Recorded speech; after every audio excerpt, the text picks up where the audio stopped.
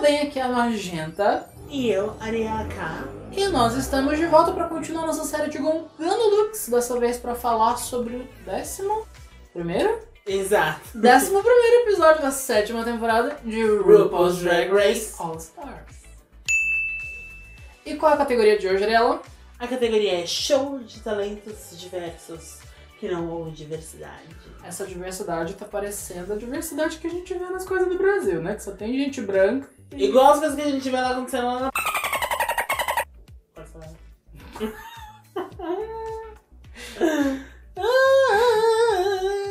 Bem, basicamente todo mundo fez performance, né? Com Sim. exceção da Monet que cantou ao vivo, cantou ópera, foi meio diferente. E a Jinx também que cantou.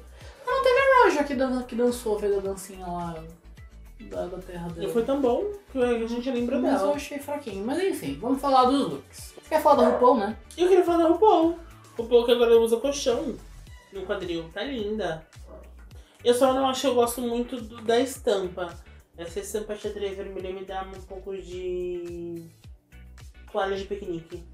Ah, mas talvez fosse a, a vibe que ela queria, né? Eu, eu senti que é uma coisa meio country, assim, não é? Será? Eu gosto muito do cinto. Belíssimo. Eu gostei bastante do look, eu gostei bastante mesmo. Não sim pra hein? E aí sim a gente tem a Jade Essence Hall, que fez uma performance. Basicamente quase todo mundo aqui vai estar com o lookinho de, de, de lip sync, né? Uhum. O que, é que você achou do look da Jada? Eu gosto bastante. É um look assim, bem hip hop, bem street, bem basquete, uma coisa vibes assim. Eu gostei bastante mesmo. A riqueza de detalhes, tudo muito, muito bem pensado. Por mais que seja tipo assim, um body pra dublar, é um body muito bem trabalhado. Uhum. Tem a bota também que faz conjunto com o body. Eu gosto muito. As pessoas costumam reclamar bastante quando a- a- as queens usam body, mas eu não vejo problema em usar body, desde que seja o body. Desde que seja muito bem executado. Exatamente. Seja um look. Porque tem body que dá mais trabalho de fazer do que um vestidão longo. Sim. Tem uns bodies que são bem difíceis de executar por, por- por- pelo tanto de trabalho que tem. Esse da Jada, por exemplo, é um dos que tem bastante detalhe. Você vê que teve bastante coisa aqui É um que body levou uma tempo. com sim, uma sim, sim. Muito, muito, muito bem trabalhado. Eu gostei bastante. Pra mim é assim. E a próxima é a Jinx Monsoon. Olha, por incrível que pareça, eu achei que ela tava muito bonita esse episódio. Eu gostei, eu gostei. Eu achei... Acertou no rosto, acertou no cabelo, acertou no vestido, é uma coisa meio Judy Jackson, né? Isso que eu ia falar, tá uma coisa meio Judy Jackson Hooker. Não, tá Hooker, mas tá Judy Jackson. É, Mas eu gosto. Eu gosto bastante. eu também gosto, vou dar um sim pra Essa Jinx. coisa assimétrica aqui do, do ombro que tá mais abertinho de um lado e o quadril vai pro outro, eu gosto. Pra mim é assim também. Em seguida vem a Monet. Eu amei a proposta desse vestido. Amei, mas eu não gostei da execução. Eu acho que a parte que vem. É... A parte que vem aqui. Esculpida no colo Hum. Poderia cobrir mais a caixa torácica. Uhum. Achei que ficou muito centralizado. Aí aqui assim, ó, parece. Eu tá parecendo, não sei. Cobre um pouquinho aqui na frente, parece que ela é troncuda, né? Que não. Ela é troncuda, mas ficou mais. Na verdade, parece que não é dela. mais evidente ainda. Não é vestida, manca cansa. Reparou que, é, tem calça? Ai, tá. Gente, tá tão chique. Parecia, né? Parecia uma coisa tão elegante, parecia um vestidão. Eu Mas gosto. aí parece que é dela. Eu acho que do pescoço pra cima ela tá maravilhosa. Eu gosto Nossa, muito do de cabelo. Esse cabelo é belíssimo, a maquiagem tá muito bem feita. Um O look eu achei simples. Pelo tipo de performance que ela fez, eu acho que ela podia usar algo um pouquinho mais grandioso. Ainda né? mais solar que ela abriu a boca. Uhum. É aquele trovão. Um vestidão perfeito. assim com uma caldona seria incrível aqui. Mas eu não acho feio, eu não acho ruim não. Pra mim é assim. Ai, eu vou dar não. Tudo bom. em seguida vem a Raja que foi fazendo uma dança tradicional de Bali. Balinesa? Indonésia. Parece que ela fala Bali. Onde fica Bali? Sei lá. Bali acho que fica na Índia. Não, vamos falar assim, senão a gente vai ser tirado com xenofóbica, pelo amor de Deus. Veio com uma dança original de sua, sua origem, tudo bem originário, né? Eu achei super interessante o traje, a performance não tanto, mas se a gente tá falando do look, Uhum. o look é super interessante, sim, tá bem fiel, aparentemente, ao que a gente ver de referência, então pra mim é um sim. Muito Pra- bem. Pra mim é um bonito, super sim também. Eu achei que tem bastante detalhe, tem todo um bordado, né? Tem bastante informação Sim. e tudo funciona muito bem. Eu gostei, pra mim é assim. Próxima vem a Shea Coulee, finalmente com aquele rosto que eu gosto de ver. O rosto de bonito, o rosto de beautiful, o rosto de modelo. Tá num look assim, bem Janet Jackson vibes, eu achei. Mas eu não acho o look muito elaborado. Eu acho que falta um pouco, assim, Falta sabe? detalhe, né? Falta informação. Sim. Como uma coisa meio Amazon, sabe? Comprou roupa no Amazon. Sim. Aí chegou e vestiu, Sim, customizou. sim. Não, para, não parece uma roupa feita sob medida, parece uma roupa que ela, Parece uma roupa pensada pro número. que ela comprou pronta, assim. Uhum. Eu gosto muito do cabelo da maquiagem. Eu acho que ela tá linda, linda, linda, linda, linda, linda, Belíssima, linda, como não linda. vimos há alguns episódios. Há muitos episódios que a gente não vê ela tão interessante de, de rosto. E E de cor, tava com uma roupa feia. o look é. Eu acho que esse look podia ter, ter mais, assim. Eu acho que esses detalhes em dourado que tem aqui podia Acontecer. ser um pouquinho mais grandioso, né? Podia ter essa coisa. Tem uma, uma vibe meio militar, talvez, né? Com esses. É meio Rhythm Nation, assim. Eu vejo bastante referência a Janet Jackson. Sim, sim. Eu acho que a Janet mesmo já usou look nessa mesma proposta com um pouquinho mais rico de detalhes. Um pouquinho essa cena. E eu gostaria de ver Uma melhor do que a da Janet Jackson, porque né, estamos falando da Drag Queens. Drag Queens tem que ir além do, do que a gente tá, tá Beyond. vendo no Mamapô. Eu vou dar não. Pra mim é não. Ah, eu acho que eu vou dar assim, hein? Eu Acho que ainda assim, pelo básico, por mais a gente tenha esculachado, eu acho que fica bem vestido. Cai bem nela, ao contrário do que aconteceu na, com a Monet. Eu vou dar um sim. Pra mim não. Em seguida vem a The Vivian, outra que também tá belíssima de rosto. Nossa, uma maquiagem. Ela tem uma maquiagem muito boa. Uhum. Isso não é surpresa pra ninguém. Sim. Ela é uma ótima maquiadora, excelente, maravilhosa. É, o que me incomoda muito nesse look é aqui na parte da bota. Não chega, não cobre o pé inteiro. É uma polaina, na verdade, né? Não é uma bota. Mas aí fica um pouco sem hora, não fica diva pop. Eu acho que tinha que cobrir assim, sabe?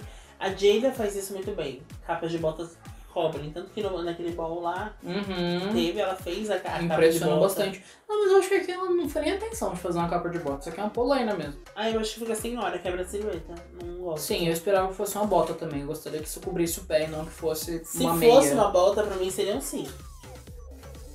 Se fosse. Mas como quebrou a silhueta assim, você vê diva pó. Não. Esse sapato, né? Eu acho escarpão uma coisa muito glamurosa Muito pra, chique. pra essa vibe meio diva pop que ela tá fazendo. Essa Uhum. coisa meio popstar em cima do palco. Popstar não usa escarpão. Ai, eu gosto muito do body, eu gosto muito, muito mesmo. Esses recortes no body que eu acho lindíssimos, essa coisa meio neon que ela fez. Eu acho que da coxa pra cima ela tá perfeita, assim, com certeza. Sim. Da coxa. Na verdade, eu, eu diria, eu iria até mais longe. Eu diria do calcanhar pra cima. Calcanhar não. Tornozelo, anatomia, aula de anatomia. Do tornozelo pra cima eu gosto muito. Sim, sim. Ah, eu dou um sim. Pra mim, assim, pra mim, assim, eu, eu trocaria essa parte de baixo, colocaria uma bota no lugar dessa polaina, mas eu ainda gosto mais do que eu desgosto do look. É super interessante. Next up, Trinity the Tuck. Suas considerações? Eu achei confuso, eu achei que ela tentou fazer essa, essa vibe meio jeans de retalho, eu acho muito Uhum. bonito, eu gosto bastante dessa estética. Mas eu não acho que a modelagem aqui foi muito bem feita nesse top. O short tá legal, o short que tava aqui por baixo dessa saia tava legal.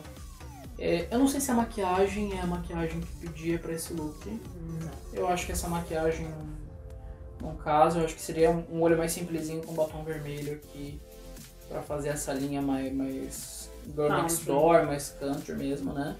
Então, pra mim é um não. Esse look eu achei assim uma grande bagunça, né?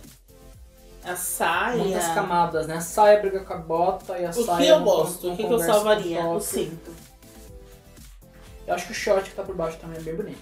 Eu gosto do short. Já não me lembro. É, o short era interessante, era um shortinho bem, bem cavado assim, eu gosto. Mas de resto, Não, não. Depois a gente tem a Ivy Oddly, que trouxe uma vibe meio gangster, meio. Cafetão na parte, né?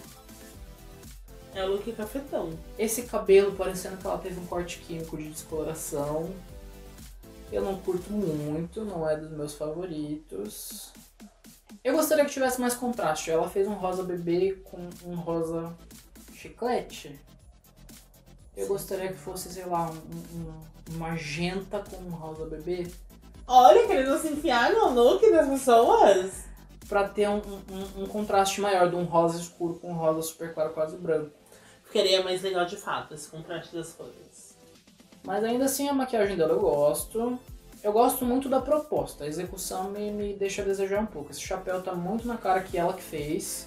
Não tá bem feito esse chapéu. É o que mais me incomoda no look.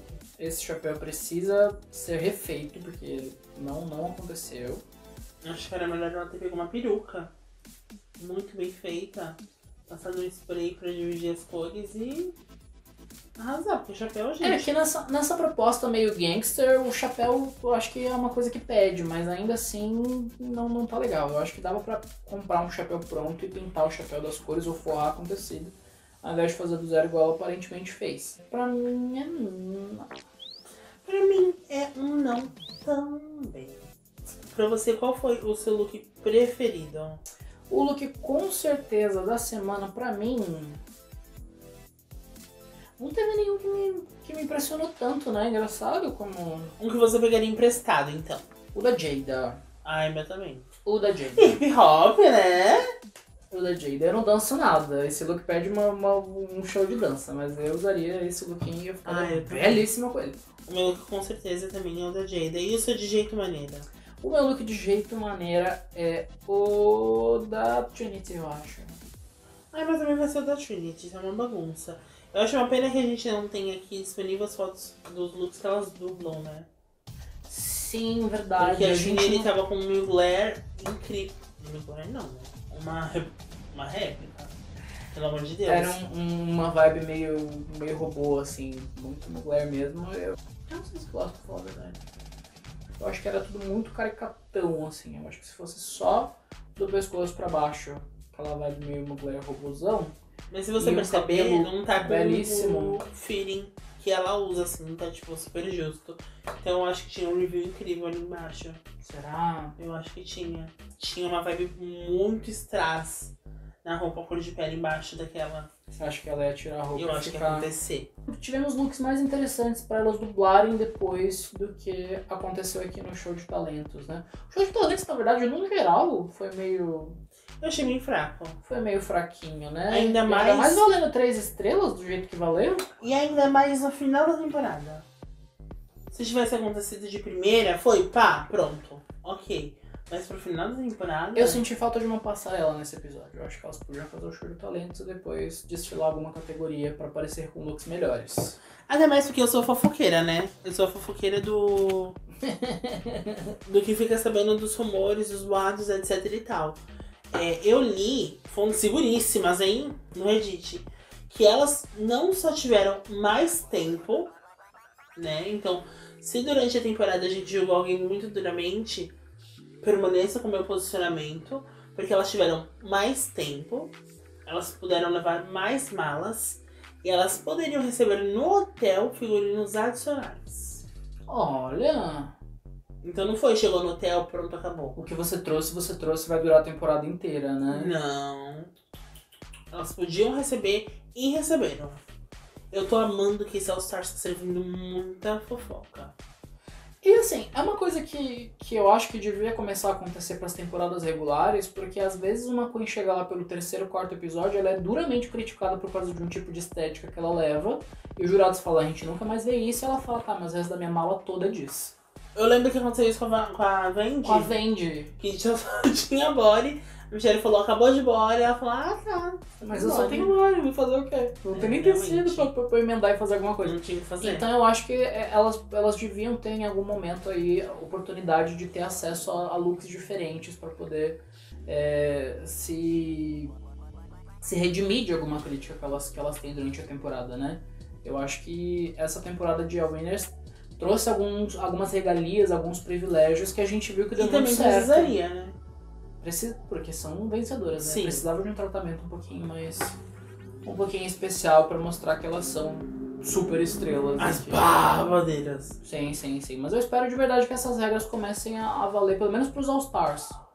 Daqui pra frente, sabe? Porque a gente tem muita expectativa quando acontece um All-Star. Sim, sim. E às vezes as bichas não, não trazem mais essas Por coisas. exemplo, Lala Ree. Estão tá, falando que tá no All Stars 8. Se ela não trouxer looks incríveis, vai sofrer hate. Vou tacar hate sim. Vou fazer um fake. Tá Nem precisa fazer um fake, né, gata? Você vai o que você curtiu mesmo. Mas é isso, gente. A gente vai ficando por aqui. Diz pra gente o que vocês acharam do nosso look neon, que era pra ter usado semana passada, né? Na, na Rolling de Brilhos. Aqui a gente demorou pra ter a ideia. Mas é isso aí. Vocês gostaram do lookinho neon que a gente preparou pra vocês? Deixa aí nos comentários qual foi o seu look, com certeza. E o seu look de jeito maneira. E fala pra gente também, pra quem tá indo a sua torcida. Eu tô torcendo pela paz, pela luz, pelo bem da nação. Eu tô torcendo. Money Exchange. Ó, eu fiz um M aqui, ó. Eu também trouxe pra Mané, gente. Eu acho que nessa final aí, nos últimos dois, três episódios, ela deu uma, uma desabrochada grande e tá merecendo essa coroa. Não só por isso, mas também pela versatilidade que ela tá apresentando. Sim. Ao contrário de uma favorita por aí, que sabe interpretar velha, as pessoas, ai, olha a atriz. Globo de ouro, dá um globo de ouro pra ela. E não é assim. Tá? Eu E é isso, gente. A gente vai ficando por aqui. Segue a gente também nas redes sociais. E a gente se vê na semana que vem pra comentar a final. Beijo. E semana que vem ficou preto e branco, né? Que acabou que a gente tem os nossos bastidores. Aí vai ficar colorido de novo. Ficou colorido de novo. A gente vai receber uma pessoa pra gongar os looks junto com a gente. A gente vai trazer uma língua Uma de convidada. chicote. Pior que a gente. Essa senta a língua. Beijo. Beijo. Tamo com fome, né? Ai, vamos pôr aquela bolacha? Nossa, 100% aceita essa bolacha.